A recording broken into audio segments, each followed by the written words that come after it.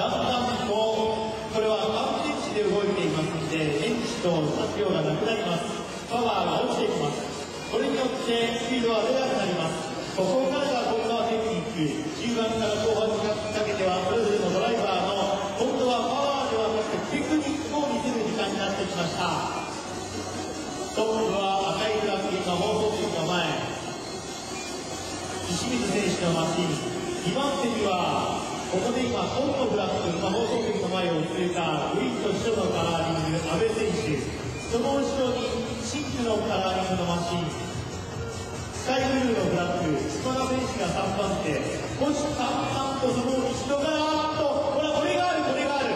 狙っていた抜けてきた黄色いブラックここで今川田選手が一つ順位を上げてきたちょっとした接触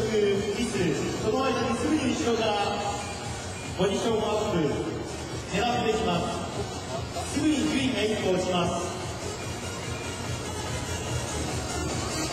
現在トップはコーチのトラックああここで阿部選手が一気にトップに立ちました。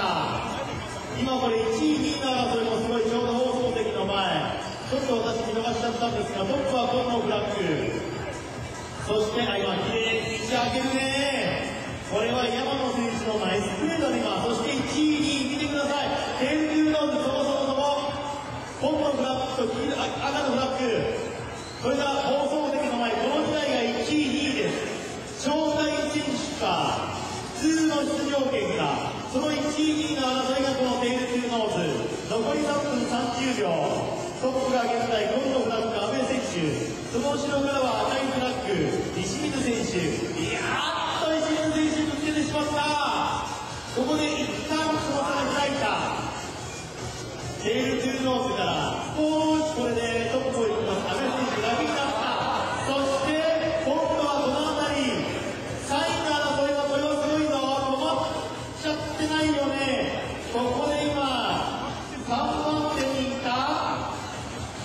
マシンが動く大丈夫かな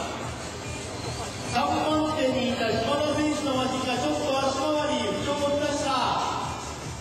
これがあったちょっと下をブロッと出しました。本人はやってしまったというような今表情です。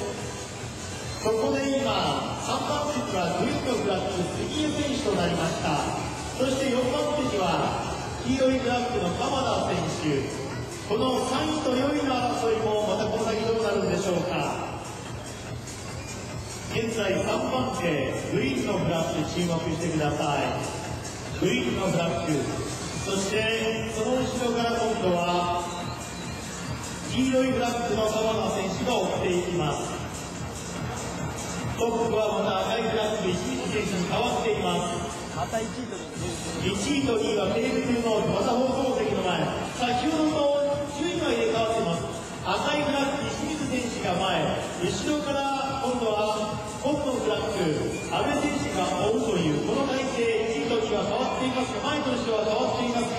テールノーズは変わらず残りが1分40秒いやこれすげえな。い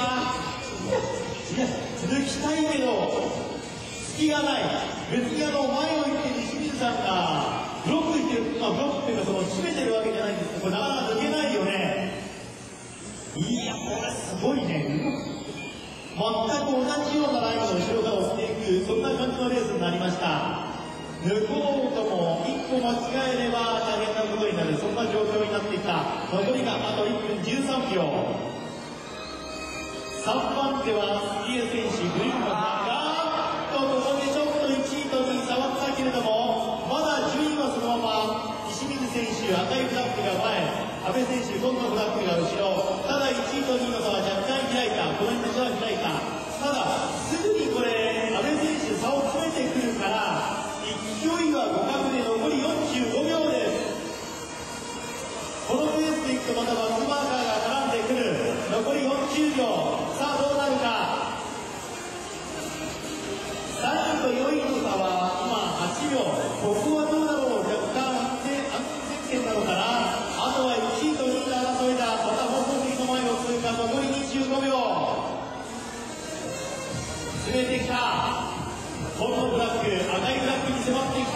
残り17秒。